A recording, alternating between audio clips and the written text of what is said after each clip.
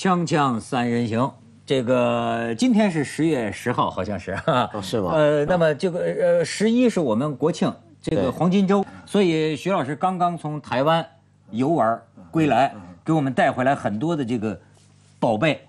哎，首先我觉得我们可以看看照片。看看台湾怎么纪念这个这个什么呀？辛亥百年辛亥一百，台湾好像起了一个挺像综艺节目的名，叫“精彩一百”。你看，扎着彩虹，对精彩一百。我尤其注意到它那个一百两个圆圈啊是铜钱，哦，圆形方孔钱，一零零这个这个但是铜钱这个造型啊，嗯让我觉得怀旧。因为我小时候在台湾过台湾双十节，台湾也叫双十节嘛，中华对对对民国国庆，就是这样的一个，到处都是这种门楼。它这个门楼主要是两个华表哦拼起来的，你看到没有？哦，真华表在咱们天安门呢。这个地对。地方就是凯兰德大道，没错后面那个就就是是原来的国民党的总部，它是正对的就是呃呃那个现在的所谓的哦台湾的总统府。但是话说回来啊，这样的地方很少，对，并没有很多的旗帜，对对，没有再看看下一张啊。哎，这精神，这我也有印象。嗯嗯他们这兵啊，这是这是中正纪念堂的一他个们的宪兵一个一个宪兵他满脸是汗，那边的仪仗小靓仔小靓仔忍不住忍不住拍了一张。打仗不一定行哈，立正还挺帅。啊，挺帅。来看理论后边好像是什么？伦伦理啊，伦理，哎伦理。来来，再再再看下边，下面就是本人的啊，哎呦哎呦竟敢跟孙逸仙合影。跟跟跟孙逸仙合影啊，主要是这个日子一百年了，没错咱跟国父那里 合影致敬一下，对对对对对哎，这个样子是比较老土一点，怎么这这到此一游嘛，到此，所以所以这个这个人这个，人站得挺端正，而且呢，这个两岸故宫都有展览。这次你看徐老师拿回来，这是专门他台湾为了纪念这个呃精彩一百嘛，那这个这个国宝总动员，我发现台湾这个起起名啊。深受他们综艺节目的影响，这国宝它是总动员，不，他是一番苦心 嗯，他要面对现在的年轻人，对对对你知，道他要还呼呼呼长龙，所以他基本上他故宫他也是这样，他要面对现在的年轻人，面对现在的年轻人就是。让一些比如说像周杰伦啊、蔡依林的粉丝都要来，那你得给人家说精彩一百国宝总动员。没错。可是 据说他的东西是很多，嗯，他的馆呢其实地方并不大，是，对不对？所以他怎么摆呢？他说要要分几十次怎么样才能摆？他所有的东西要分几十次，所以呢，他就可以经常有各种不同的展览。换展。嗯所以你说你以前什么常去是吧？对我小的时候，我念小学，我在台湾住的时候，我外公就几乎有一段时间去的很密集，就几乎各个礼拜去。后来是起码一个月去一次，所以基本上去过几十次、一百次是肯定有的。嗯，那基本上是都看了不少，但也不敢说都看完，因为它很多东西它并不在轮展范围内。对它是也许是真的就存着，隔很久才拿出来一次。对，但是。坦白讲啊，我觉得年纪很小的时候去看有好处，你知道很多知识，但是我觉得年纪太小，没有那种领悟、领会的那个是感受。是的，是的就比如说我小时候看，也就是个看，也是个知识上的增长。但你说要真觉得这东西有多好呢？那时候没有领略掉它的妙处，反而是年纪大了，上了岁数了，三十岁之后了，哎，再看感觉就不一样。所以就是我近些年来是越来越喜欢这些东西，但是呢，真的像徐老师说的一样，说你要喜欢这些东西，是不是就是老了？不是老了，这个就是以前林语堂说的一句话。他说：“你二十来岁的时候，你就看西洋的东西；三十四十岁的时候，你回头进到中，回到中国文化，嗯，回来了就再出不去了。这个这就是林中国语堂哎，人的一就就就一些东西你才发现怎么这么好，这么你就回我我以前十几年就去去过，我重新再看《郭熙早春图》，像像完全重新看一样，就是你真的有很多东西你以前看过吧，看过，知道吧，知道，对吧？王羲之那那那都看过，但为什么现在看就是不同了呢？我我只能觉得这真是，嗯说明你进步了，也许吧，说明你进步了。说明我老了。我我跟你我跟你说啊，这个我有一个画家老师啊，他就是呃看这个大英博物馆嘛，他说这因为也有那个中国艺术品的那个中国画的博物馆，他说现在楼上啊。他看了一个西方的这个这个油画的这个展览啊，他这个我这个老师他自己就是画油画出名的啊，看了个油画的展览，然后再下来，看到这个中国的这个宋朝的画，看见中国的这个水墨山水之后，他感慨一句，他说这一笔啊，西方的那个画那就是葱爆羊肉啊，你看那个油画，那可不就是口味太重了？你看中国的这种真是，我是不是前一阵刚去这个俄罗斯嘛？嗯，他们那个八世纪、九世纪，那就是不得了的东西了。嗯，那从那个到后来，他们这个天翻地覆。可我我们看看我们那个八世纪、九世纪那个那边唐玄宗写的字，嗯，跟我们今天写的字不一样吗？我们不就在学他那一笔一画吗？你就会发现，我们这个文化的这个传承性，就是你是具体可感的，而且它有一点可靠在哪里啊？就是说，我我呃去看的时候，正好碰到陈平原、夏小红吧，呃，北大中文系主任，他说他们那边的这个写出来，只要不特别标出来，就一定是原件。嗯，嗯我不知道北京是怎么样，但是因为我常听说一种说法，我不知道，因为我们现在诚信危机嘛，很多人说你在故宫看的这个比较清明上河图》啊。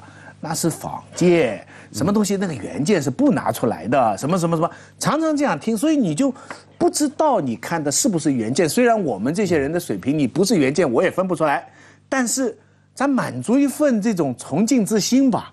就在你一尺前，它是一个原件，跟它是仿制件，在我心理上。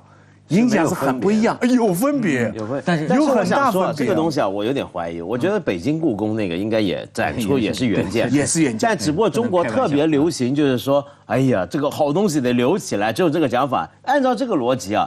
有时候我在街上碰到人说：“哎，这是什么县委书记？”我说：“这个说不定也是仿制件，原件是在县委办公室里都不出来的。”没错，没错，假的，假的，什么都是假的。但故宫展出的也都是不不不，故故宫是真的。故宫 你在台北故宫看呢？我这个国庆节还去了这个北京故宫。呃，北京故宫说多少万人嘛，你就挤在那个多多十几万人里面。没没错没错，哎呦，这那家伙人山人海啊！但是我我我去看的是什么呢？呃，这个兰亭展啊，兰亭展，北京那个呃，北京一个特展，呃，兰亭的这个特展，就是中国文化里边有一种兰亭文化，对，你知道吗？这个兰亭文化就是围绕着这个《兰亭集序》啊，嗯，多少个拓片，多少个仿制件，但真正的那个原件没有了。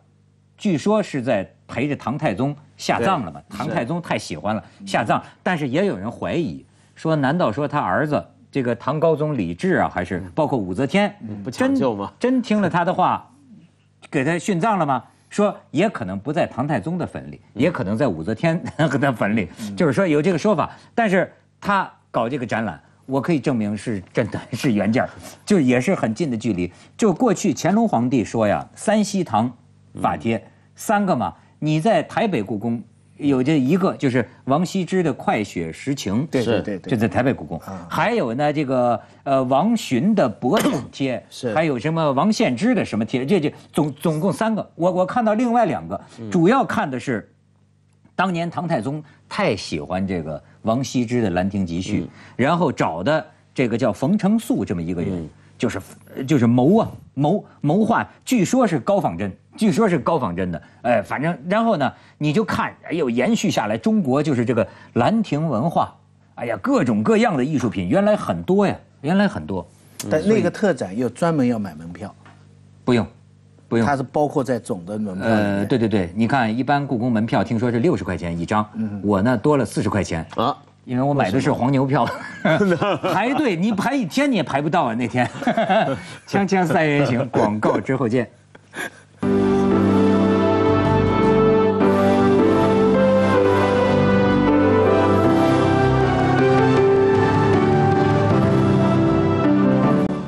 哎，在这个辛亥革命一百周年之际啊，我们讲讲这个老祖宗的东西。是吧？倒是别有一番风味。这个徐老师还带来照片，就两岸的这个，呃，咱们看看啊。有这个徐老师在台北故宫见，哎，我这个先给你看，徐老师这个，这个啊是我最近在河南博物馆，嗯，青铜器啊，连鹤方壶，你你看看这个漂亮啊。当然他这个拍的太差了，来再看再看下一个照片啊，你看顶上啊有这么一个鹤，鹤了，叫所以连鹤方壶，那展翅飞翔的鹤。你再看下面。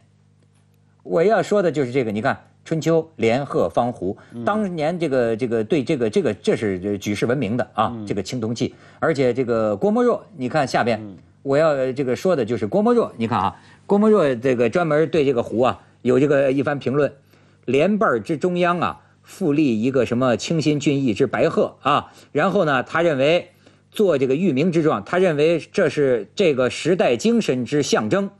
此鹤突破了上古时代之鸿蒙啊，正踌躇满志，嗯，这皮泥一切啊，踏着践踏这个传统于其脚下，而欲作更高更远之飞翔。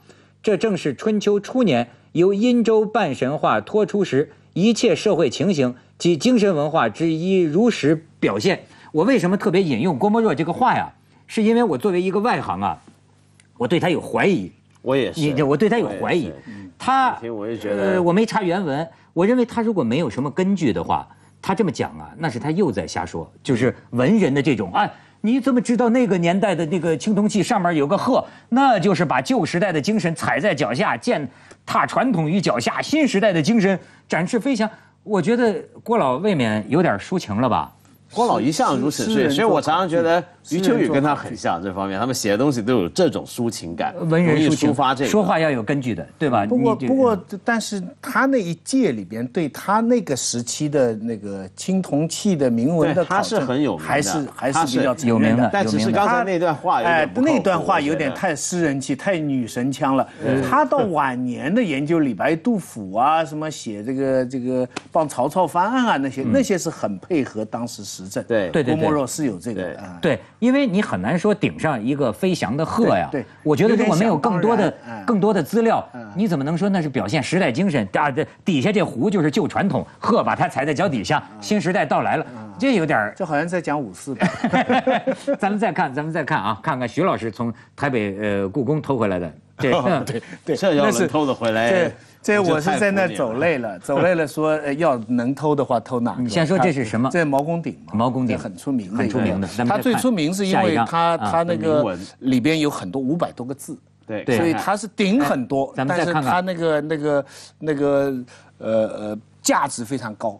那么这个鼎的故事它是这样的，它是清道光年间出土，嗯，那么端方他们呃收藏，是到了民国期间呢是叶公绰。这个叶公超的老爸，对，嗯嗯，呃，没钱了，把他抵到上海的银行里，然后他又到了香港，到了香港呢以后呢，他要叶公超把他带到香港，因为日军要占领上海，他的妾，他的所以小三儿吧，是小三不可靠，就这个地方，就就向日本人告密，就说这个我家主人有这么一个东西，能卖多少钱，什么什么，日本宪兵就去查，查以后呢，他们结果叶公超他们。仿做了一个，我又不知道他们用什么办法可以仿做了一个，骗过了日本人，把这个鼎真的从上海运到香港，后来又运回南京，交给南京的政府，后来就随着到了台湾所以现在是他们的镇馆镇馆之宝。嗯，对。所以单凭这一点吧。台湾也不能脱离中国吧，对不对？你看镇馆之宝都在那里。徐老师，你这我也要跟你重复。上次我去台北，呃，一个老的士司机拉我到台北故宫嘛，我跟你说过，那老司机就是绿党的。绿党的临落临临撂我下车的时候说了一句：“说如果我当了总统啊，这里边的东西全还给你们大陆，都是抢你们的、偷你们的，那不是我们的。”我说这倒大方啊，这不错，这是有绿党政治水平。没没没，他在搞台独的嘛，搞台独。他说这是你们中国的，那不是我们的。那按照他这个讲法，如果罗浮宫说送一半收藏给他，那那我们也不能要，对不对？哎呦，可真是。不过我这次的一个感受就是说，博物馆呢还真是要去看。当然，就是说，你同样一本书，你可以把博物馆介绍的很好。你今天你随便买一本书，大英博物馆、这个罗浮宫都很有。但是，直到你站在这个东西之前，就我刚才讲的，直到你站在这个珍品之前，嗯，你才会重新回过头来看这个书，你才把这个东西消化了。这个听上去有点玄乎，就是说，你单在画面上看，跟在看实物，这个是一个。巨大的不同，那当然。而且啊，我们要了解这个博物馆，它很有意思。每个国家那种最大型的国家级博物馆，嗯，一般都有很强烈的一个政治意味。嗯嗯。绝大部分的国家博物馆是什么时候成立的呢？在欧洲比较早，是十八世纪末、十九世纪初成立。那正好就是现代，因为我们的民族主义是很民族国家这个概念出来，民族国家出来之后，每个民族国家都要找回能够让国民骄傲。找到认同的一个一个东西出来，那就是个国家博物馆。同时呢，这个博物馆里面陈列的东西等于在说一个故事。告诉我们的国民我们是什么样的一种人，我们是怎么来的，我们的历史跟我们的今天有什么关系。然后又更有趣的是，大部分这样的国家博物馆啊，都是过去的皇宫。对，那从这就恰好能够解决一个问题，什么问题呢？就是因为你民族国家其实是个新生产物，嗯，你怎么说能够说以前明朝啊、唐朝那个东西跟你是连续的呢？那你就直接把一个皇宫接下来。就皇家皇家皇家私人的这些宝贝，嗯，这过去不是老百姓，他都是亲是私人所有。对啊，没错。他现在把它是剥夺出来，说是属于全民族的。民族这个东西是抽象的嘛，它是等于是从古到今那么多人的也都是属于我们的。所以这是整个博物馆，尤其国家博物馆，两岸两岸故宫啊，这种国家级博物馆，它讲的是这么一个故事。所以这个故事在今天看啊特别重要，为什么？因为辛亥这个革命其实是有个法统问题。对，嗯嗯嗯。这个法统问题就是，你如果真的是革命，像美国独立战争那种革命的话，那你就跟过去那个英国是断绝关系的，嗯，是断掉的嘛，对不对？这是个独立战争。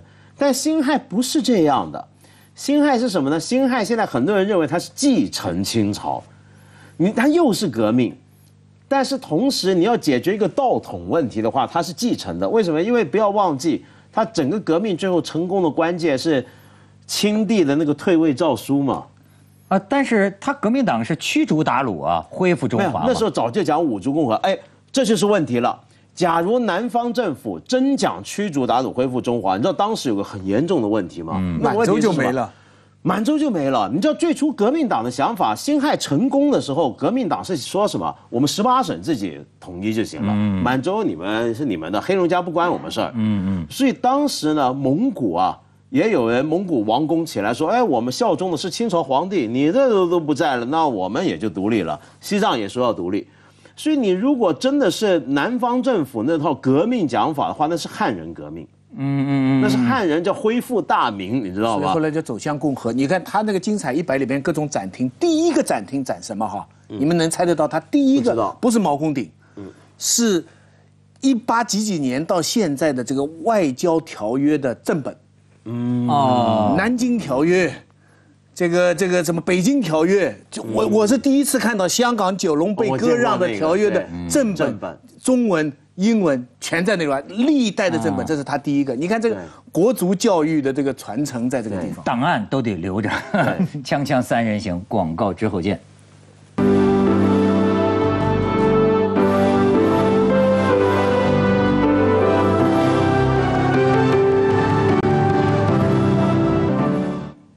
看，有的时候你知道一些故事啊。你像我这次去故宫展，我就想起这中华民族得感谢张伯驹啊。因为兰亭展里边，我看到最早的墨迹啊，就是陆机的平复帖。那么咱们读过记载，张伯驹先生收藏的，买了好像把一宅子的钱买的。他他里边专门也有个展，就是各个时代很多人捐赠的。对。那我在看这个东西的时候，我就在想，假如我今天人到晚年，我自己藏了一个，嗯，也有一个什么东西啊，嗯嗯。我是传给后人呢，还是捐给国家博物馆呢？那这是一个很大的一个一个，它体现一个什么信任呢？嗯，就是说你当然是钟爱它，但是你你捐给他，你得知道这个博物馆真是它真的能够保留这个东西，保留好，它不会被人机器压碎，它不会被人拿来额外赚钱。你说。很多人这么捐赠，我我看到的是一份份心啊，就是说对于这种传承的这个捐的原因呢，也可以是很复杂的，在不同的时代。但是我就是说啊，这个文物啊，这个你你刚才讲这个博物馆呢，你真是你在台北故宫今天看到的，那都是经历南南迁哦，在重庆对，有些已经去过美国了，但一件一件都没坏，一件都没丢啊。当年的这个人呢。哎呦，好像有一种特殊的捆扎方法。嗯，你知道，经历这么样的沧桑这个战乱，对，没拍 X 光照片压碎了。没错，我那个那天看那个一个纪录片，还讲这个卢浮宫，你知道也经历过，当年怕纳粹德国轰炸巴黎，他们就搬。你知道搬的时候啊，这个这个这个法国这个民族蒙娜丽莎镇馆之宝，专门用一个密封的车。封着，专门专车运这个蒙娜丽莎这幅画，里边还有一个专人工人，专人一路跟随看管。说因为这个密封啊做的是如此之好，所以到站开箱的时候，这张画完好无损，这工人呢昏迷了，憋的昏迷过去了，而且就是藏在城堡里。那么希特勒来了之后，纳粹德国其实知道他们藏在城堡里，但是呢没去动，因为怕呀，你要一动这个，法国民族不投降了，怕他们集体叛变。就是说，你把我们这个东西再给动了，所以他一开始都没掠夺这个，他去掠夺犹太收藏家的。你们你们想过，当初巴黎啊那么容易被纳粹攻陷，其中的理由之一就是要就是这个，不要因为法国人对法国人说我们放弃，说这个东西我们要留着，说我们宁愿放弃首都，我们不跟你浴血奋战到什么最后一枪一一弹，然后一砖一瓦，我们这个城不能让他毁，法国人，这是为了他们的文化投降，这是你的吗第二种国。经过这些。